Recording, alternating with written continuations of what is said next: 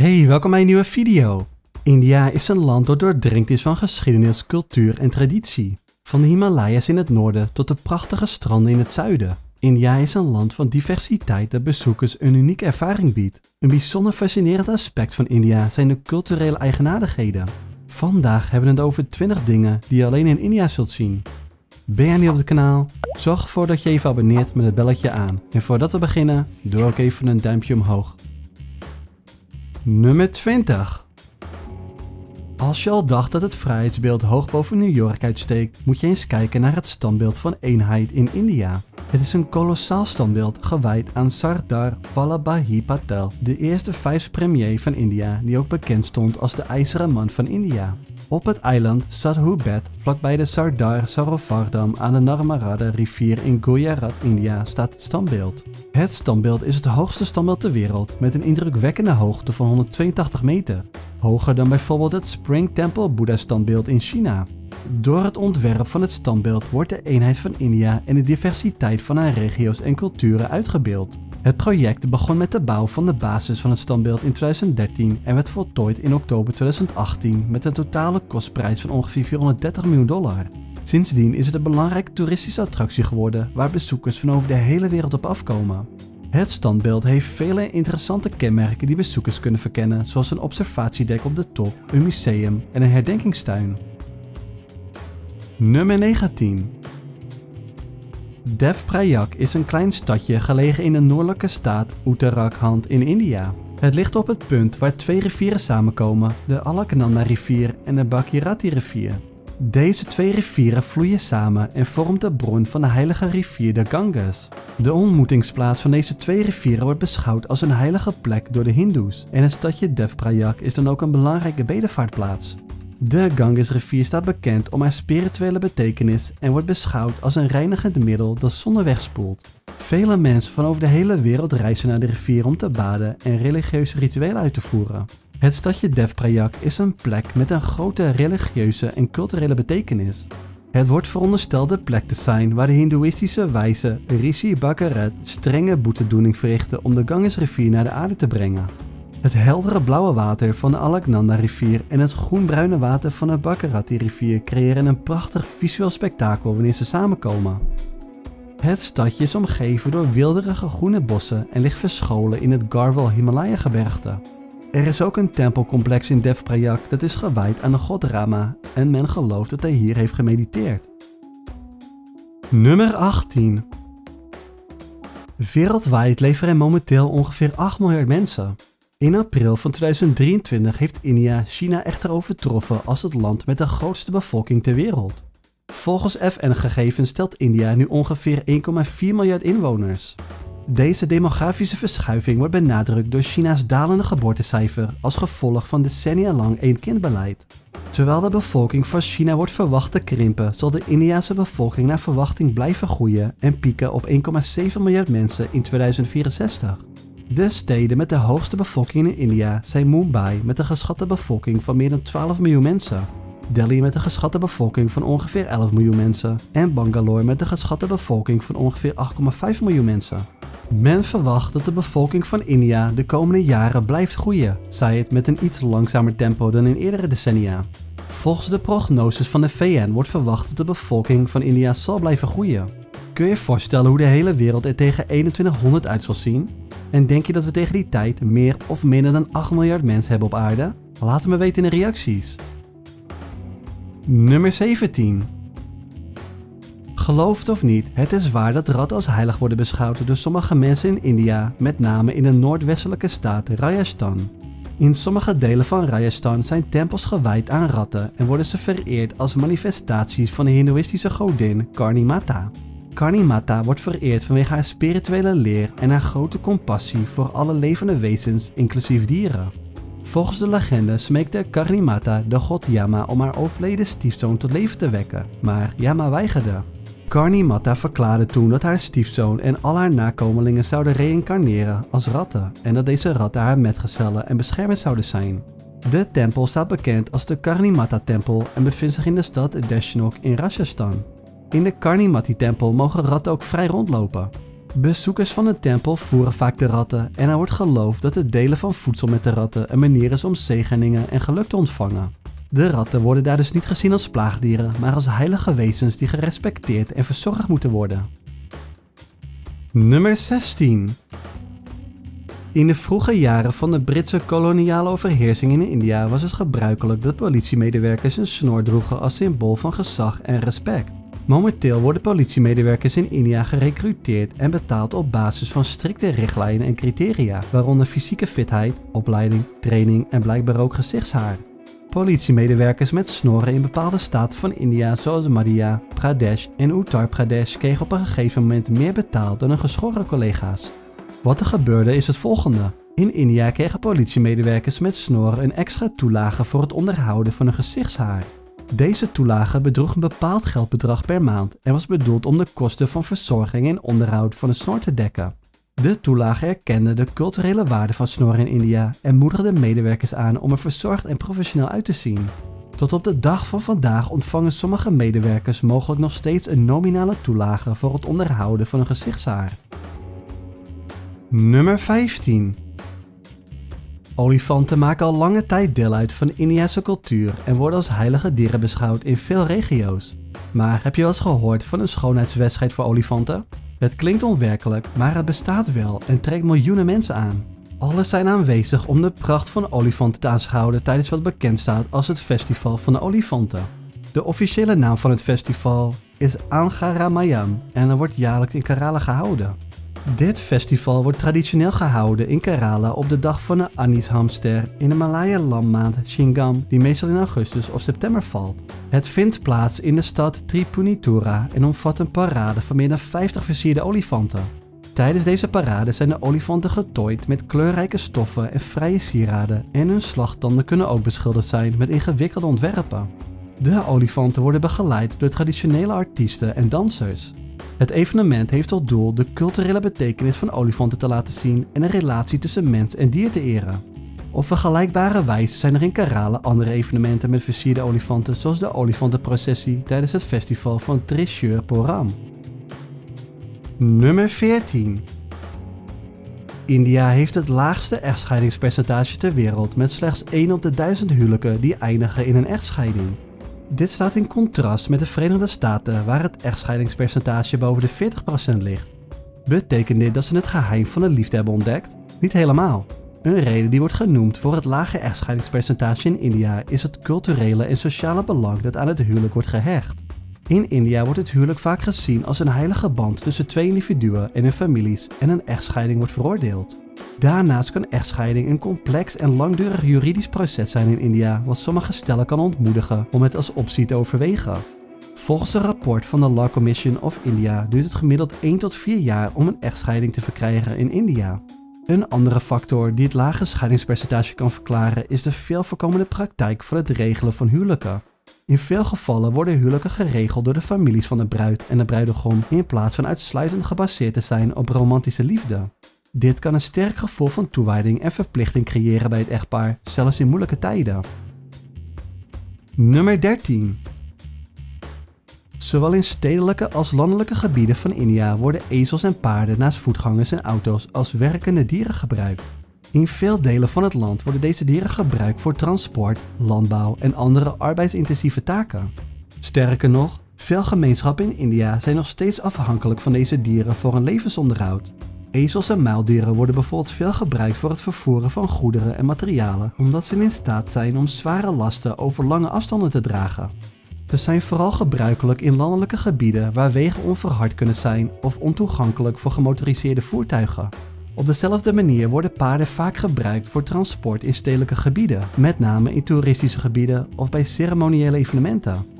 Werkende dieren in India maken ook deel uit van het culturele erfgoed en de tradities van het land. Bijvoorbeeld, paarden en olifanten worden vaak gebruikt bij traditionele festivals en vieringen zoals bruiloften of religieuze evenementen.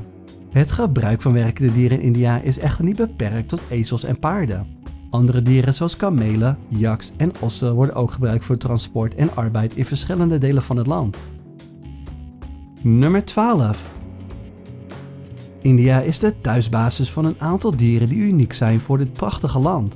Het eerste dier waar we het over gaan hebben is de leeuwaap. Deze apensoort komt alleen voor in het westelijke Ghats-gebergte in Zuid-India. Bekend om hun opvallende uiterlijk hebben deze primaten zilvergrijs haar, zwarte manen en een staart die lijkt op die van een leeuw. Ze behoren tot de meest bedreigde primatensoorten ter wereld met slechts ongeveer 4000 tot 4500 individuen in het wild. Het volgende dier is de Nilgiri tar.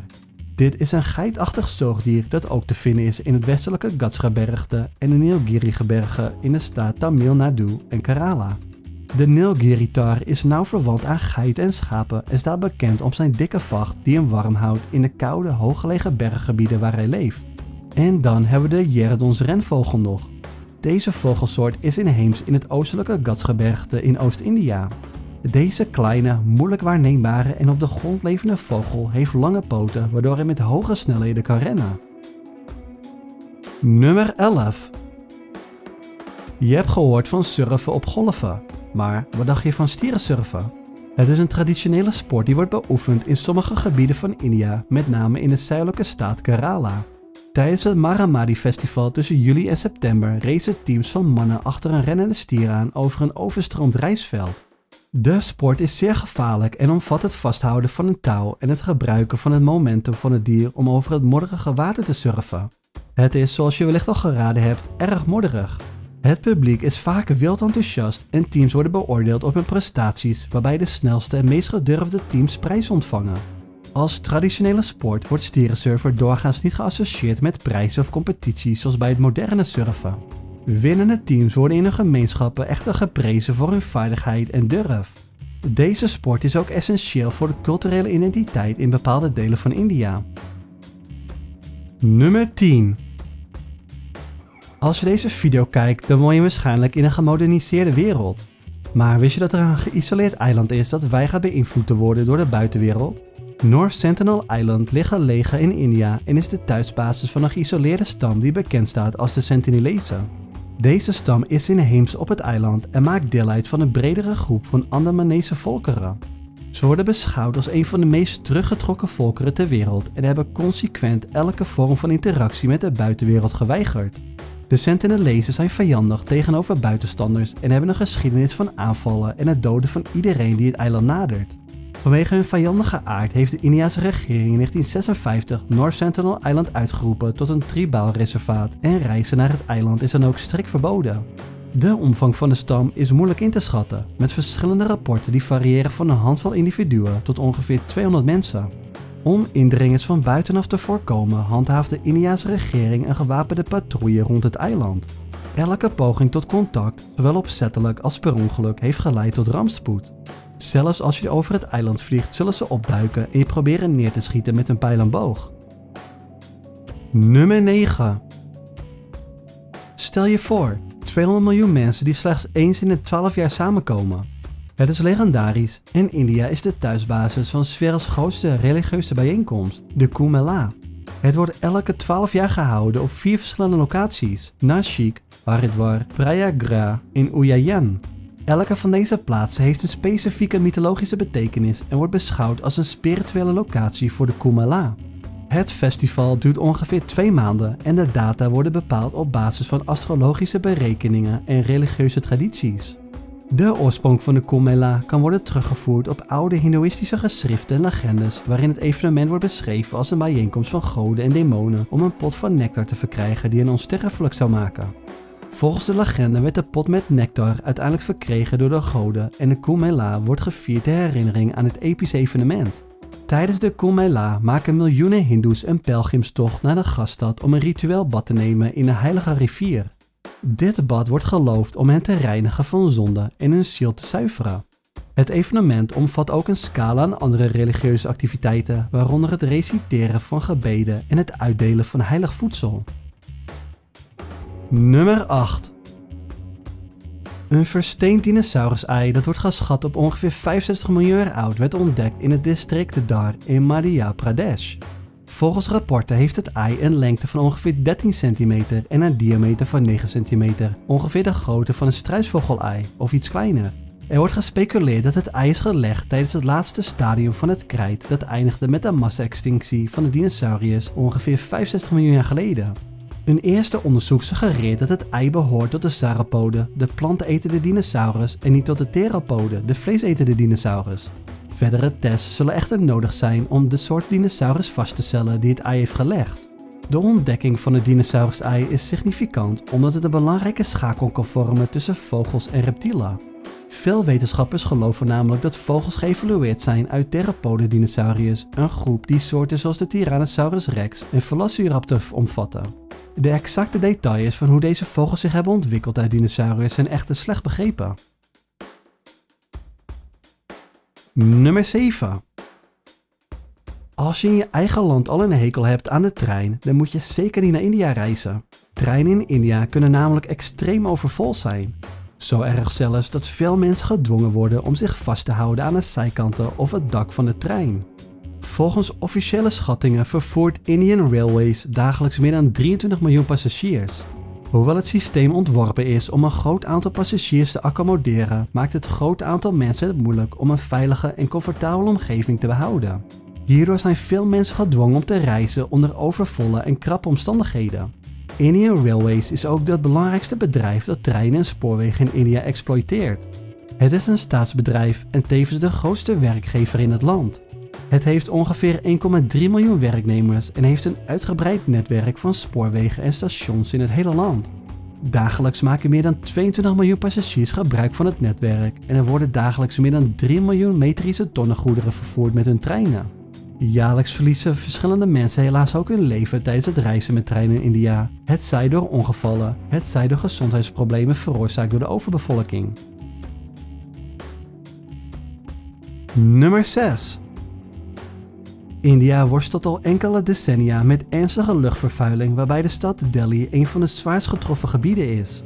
Recent onderzoek heeft echter aangetoond dat meerdere steden in India behoren tot de meest vervuilde steden ter wereld, waarbij 9 van de top 10 meest vervuilde steden in India liggen. De vervuiling wordt veroorzaakt door een combinatie van factoren, waaronder industriële emissies, verkeer, bouwactiviteiten en het verbranden van gewasresten en kolengestookte energiecentrales.